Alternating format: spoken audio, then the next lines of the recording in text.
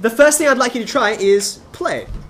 So once you press that, this is what appears. It's really simple. Let me give you an easy example. Let's have a go at, say, this one. Okay, so this is the second one here.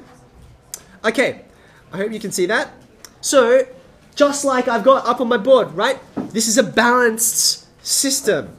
You've got two things there, and well, one is exactly equal to the other.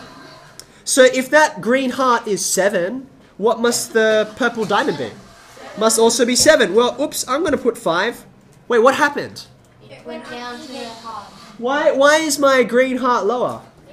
Because it's, yeah, Radesh? Because seven's bigger than It's heavier, right? So I need to try again. If I put 8, uh-oh, wrong way again. So now if I put in 7 and you submit, and then it gives you some stars. Hooray, okay? So now you come back and I'm going to show you a tricky one. Let's try this one. Oh, hold on a second. Okay, now some of you might be thinking, oh, I think it's four. How can we logic that out? Well, watch this. Watch, watch, watch, watch, watch. If I put my finger on the top thing, it's a mobile, right? Like a spinning mobile, right?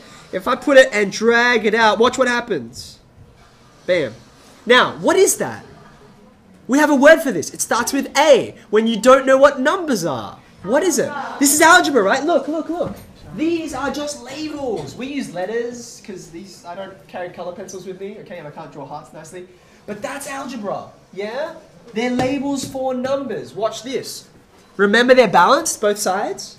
Look, I've got an extra heart there on the left-hand side, see there, that I don't really want. So I'm going to pick that up and pull one out of both sides. Did you see that?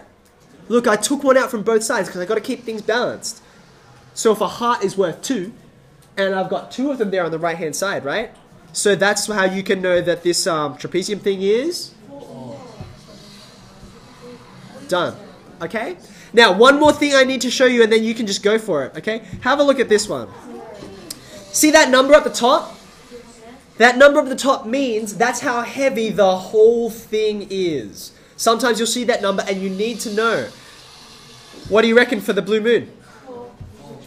Does it make sense? Does it all add up to 8? Yes. You bet it does. There your stars, okay? So I want you to go back to that puzzle menu. If you feel like, oh, these Explorer ones, too easy, try a puzzler or a master one. And there's lots of pages you can flick through. Go for it.